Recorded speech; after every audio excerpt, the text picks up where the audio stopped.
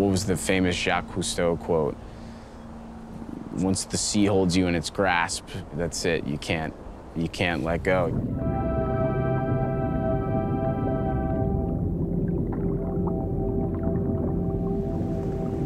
There's just this draw that pulls you back all the time. I mean, that's keeps you going no matter what, no matter what happens. You're always after this something that's out there. Like no, and you're never really fully content and satisfied to where you'll step away from the ocean. It's, when it's in you, it's in you, and that's it. It's in your blood, and you're you're going to be going there till basically the end of your days.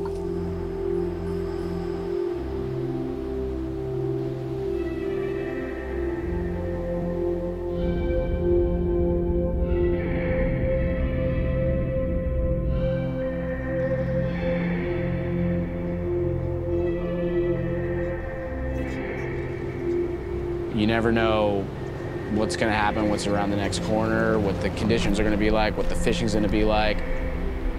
Beyond even the diving itself is just getting there half the time and experiencing a new place on land and then, you know, not knowing what to expect when you go offshore and what you're going to see in the water. And it's amazing. It's a, a very refreshing experience.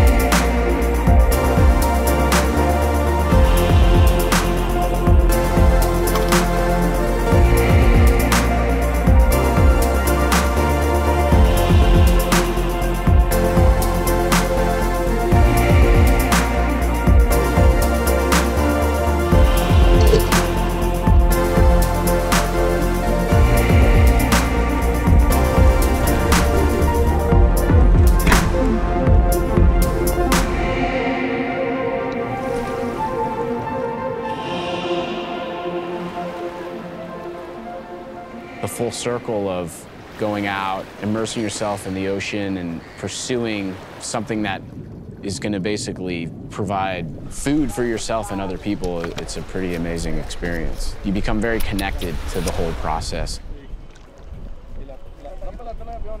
I think it's something that in basically embedded in our cores. Whether we tap into that or not, you know, is up to us. Drives me, and I think a lot of people that pursue the sport. I think that's what keeps them going.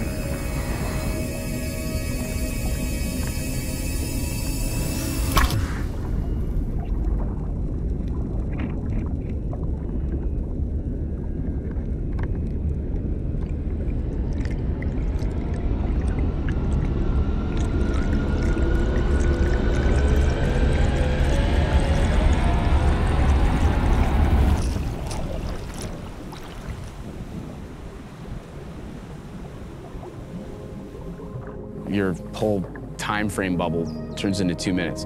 Two minutes on the surface, two minutes on the bottom. Nothing else, that's it. All sense of time basically goes out the window, excluding looking at your dive watch while you're on the surface breathing up and looking at your dive watch while you're down on the bottom hunting fish.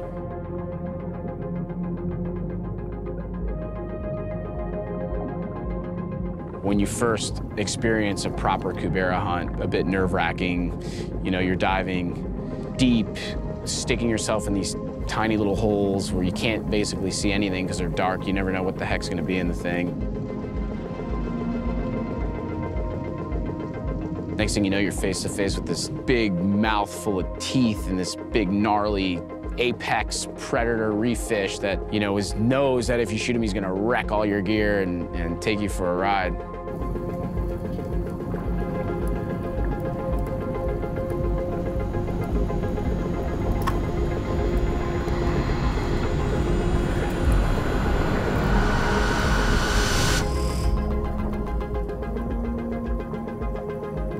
Become so infatuated with hunting those fish and trying to put one on the boat that all that fear and all that that hesitation from you know going into these places where normally your your instinct would be don't go there is just pushed to the wayside because all you're focused on is is trying to put a shaft in one of those things.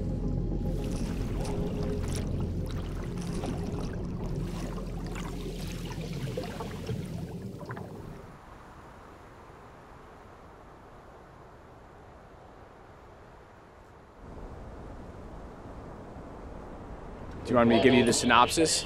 Uh, day one. Yes, sir. One, uh, big moon. Um, day one, Blue Water World Cup in Baja. We're like one minute from start here, so what? Ten seconds, and then we're out of here.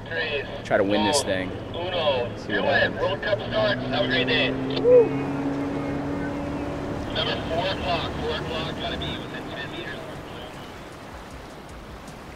I got started working with Dennis Hostler. Uh, he's from a company, 20 Fathoms.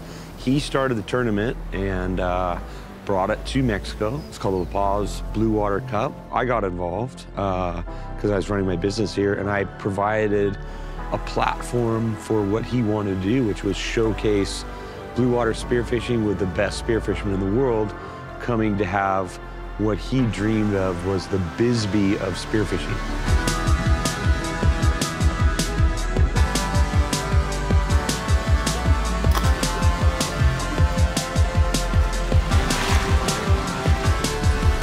Nobody had a tournament in blue water that had prize money, that had the major spearfishing companies behind it.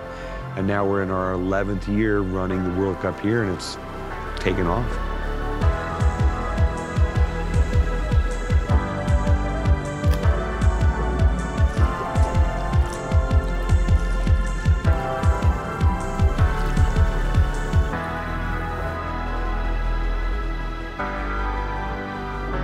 Was exciting, it was fun, it was stressful. Everyone was like on the boats, quarter to seven, wetsuits on, ready to go.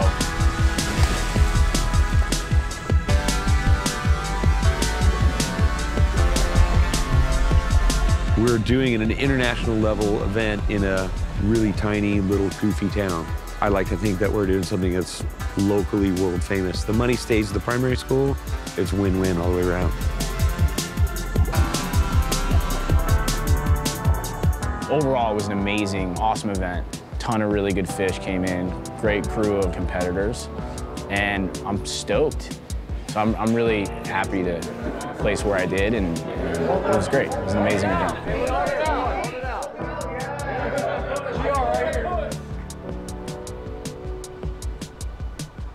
You know, people that don't understand the sport and what goes into it, and you know, they kind of take on this barbaric view of what we do, which is, oh, we, we go out there and we take these spear guns and we're just killing everything, which is not the case at all. I mean, it's probably the most sustainable, you know, form of fishing on this planet.